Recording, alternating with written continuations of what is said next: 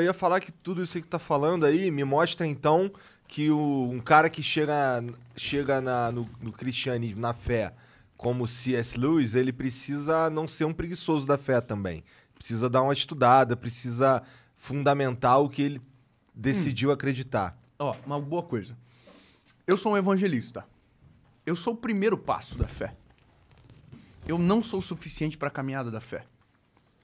O meu trabalho, cara, é igual ao do professor. Uma vez que você ensina, você, você, você vira desnecessário. A pessoa não vai precisar mais. Entende do que eu tô falando? A pessoa pode lembrar de você, ter a memória que você que você estava no início dela, mas depois que você passa por aquilo, você não precisa mais. Então, dentro dessa corrida, eu sou a primeira etapa. A minha mensagem não é suficiente para uma caminhada completa de fé. A minha mensagem é o início, é a pesca. Por isso que é quando, quando a gente olha para a igreja como organismo, como vivo, a igreja de Jesus, você vê que existe cinco ministérios. Então existe o evangelista, existe o profeta, existe o apóstolo, o pastor e o mestre. Então, cara, eu sou o evangelista.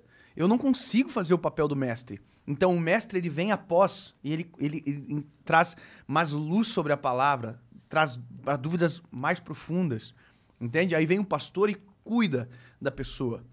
Aí vem o profeta e profetiza coisas que só Deus pode saber e, e falar sobre o futuro. E aí vem o apóstolo e, e, multiplica o trabalho do pastorado, ele, ele multiplica as igrejas, ele planta igrejas, entende? Então, é uma corrida muito mais complexa. Até uma das coisas, cara, que eu, eu senti muito no meu coração e a gente fez esse ano, ficou pronto agora, olha que legal. Isso eu acho que eu não falei em lugar nenhum ainda exclusivo. Opa, aí sim. mas brincadeira, mas é uma coisa que tem me dado tanta alegria, cara, me orgulhado muito, sabe? Nós fizemos uma associação evangelística que vai ajudar essas pessoas que vão nos eventos, que tomam a decisão a continuar a caminhar para dar um norte. Então é um, é um aplicativo que a gente está ficando pronto agora, que a pessoa vai ter um pré-discipulado. O discipulado ele é presencial, por isso que eu chamo de pré-discipulado, onde a pessoa vai ser é, apontada de maneira intencional para a necessidade, por exemplo, da convivência cristã, do batismo nas águas, da leitura da Bíblia, da própria instrução de fé. E quando ela terminar, a gente vai dar uma Bíblia de presente para ela. Tudo isso de maneira gratuita, nada com fins lucrativos. Bom, é uma, é uma associação. Eu hoje sou o maior doador dela. Eu não recebo nada da associação ela nasceu para realmente pelo menos a gente. Não é que eu quero é, fazer o que é além do meu trabalho, mas como Deus nos deu muita voz e muito alcance, não custa nada fazer. E aí, cara, eu encontrei pessoas maravilhosas que Deus colocou no meu caminho lá no início da minha caminhada com Jesus e que me fizeram apaixonar pela pregação do Evangelho e que hoje são os diretores da associação e que estão fazendo um trabalho incrível e agora vai ficar pronto. Então, agora, o que, que vai acontecer? Acabou o evento? A pessoa tomou a decisão, vai ter um QR Code, ela vai receber um cartãozinho, ela vai clicar, vai para essa plataforma. Não tem pegadinha nenhuma, cara. Não é nada para ter de lucro, nada, nada, nada, zero. Eu falo isso porque tem gente que tem um pouco de dificuldade, pensa que, ah, não, agora é a pegadinha. Não.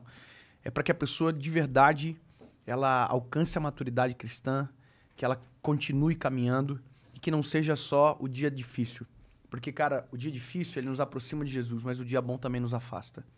Então, às vezes, o cara precisa de algo, Deus responde, acontece o milagre, só que daí o milagre vem e o cara esquece no outro dia de novo, entendeu? Então a ideia é que a pessoa continue uma caminhada. Então hoje eu não busco mais Jesus só porque meu filho está doente. Hoje eu busco o Senhor porque eu dependo dele. Eu dependo dele para viver, eu dependo dele para tudo. É o meu norte de caminhada. Para decisões mais simples, as decisões mais profundas, eu pergunto tudo. Eu oro sobre. Entende?